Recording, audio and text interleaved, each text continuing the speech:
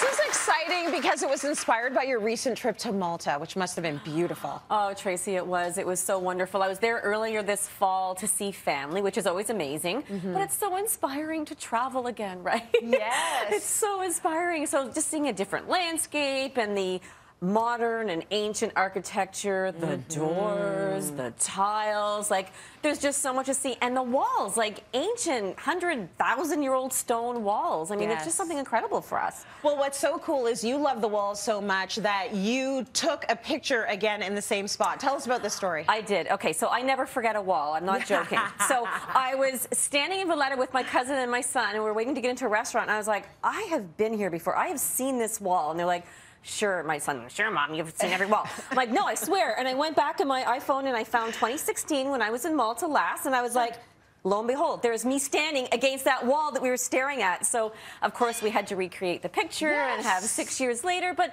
it's so true. Like, there's just something about that that's so memorable for me. I love it. Well, I like the fact that mom was right in this Thank instance. you. She knew that wall, that was the wall, which is beautiful. And this is also what inspired your set. It absolutely did. I really wanted to bring the beauty and warmth of that Maltese limestone wall here to our set.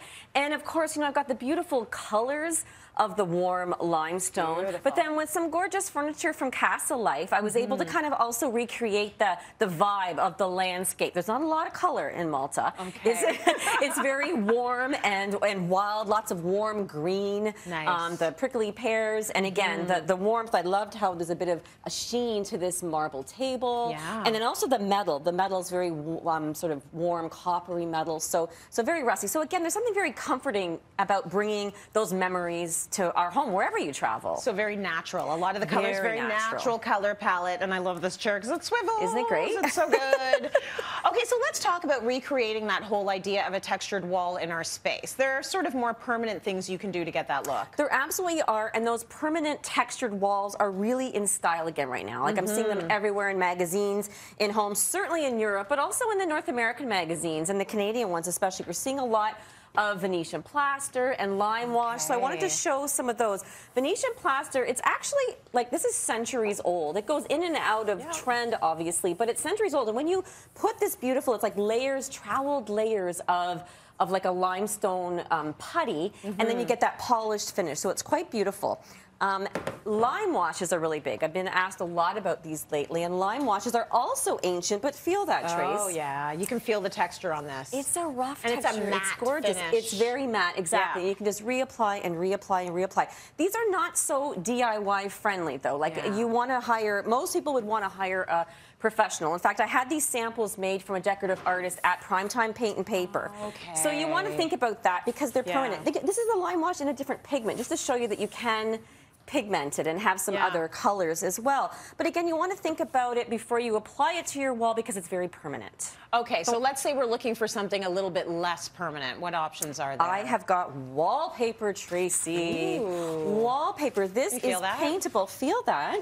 Oh, paintable, yeah. textured nice. wallpaper. Again, Anaglypta wallpaper has been around forever. Yeah. And this is just a really great way to put texture on the wall paint it, mm. make em emphasize the texture even more with a wash. But again, in a few years, if you don't like it, you can take the wallpaper off the wall. Okay, so it's much easier to take the wallpaper off the walls these days. It's not like, right, exactly. back in the days? If you do the proper prep on yeah. the wall before, it's much easier than it was 30 years ago. I think I'm into paint because my parents, I thought, were going to get divorced wallpapering when I was a kid. So I'm like, I'm afraid of it. But I would be scared too, between that and building furniture. Like, I don't know. Is your marriage going to make it? Exactly. Okay, so finally, the least permanent option. As you say, you like to stick with paint. I like to stick with paint because yeah. I love the look of textured walls in your house and your house. Yes. But I just don't think I want to change things more totally. often. So yeah. it's important for me. So I created this look of texture with just flat paint. So nice. let's talk about that. So I've got a base coat. It's actually pretty simple. I'm using three colors. A okay. little time consuming, but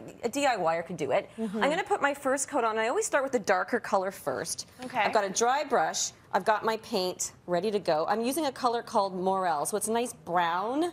Nice. Sort of a warm brown. Oh, don't put like too much paint on. color. Like a putty color. It's very yeah. pretty. I'm going to grab this rag. Have a wet rag handy. Okay. And then this is going to look ugly at first, but we're just kind of cross hatching with a dry, well, I call it a dry brush, like this. So you get this yeah. effect. And then do that in an area that you can sort of get at with the rag after and just soften it. See, I'm feeling this is very reminiscent of the mid 90s. I- you know what, Tracy? Isn't everything right now? Everything is right now. I wish I kept my clothes because it wouldn't cost me so much to buy things for my daughter right now. Right? It's very 90s. I'm, yeah, I'm feeling very reminiscent myself because I used to do this a lot. And in the somehow it looks good again, but it's it's also been elevated slightly. It's been elevated and it's the colors. We're not putting reds and greens together. We're putting we're trying to mimic natural stone, which is so popular. So Yeah. once you've done the first coat, I wanted to bring that gold and yellow, and that's going to be my second layer. So again, go crazy with your cross hatching. Lovely. Get your damp rag. Soften it again. It's a lot of work, but it's kind of therapeutic. I surprisingly feel therapy when I wash walls. Okay, all right. There's something about Not it. everybody does.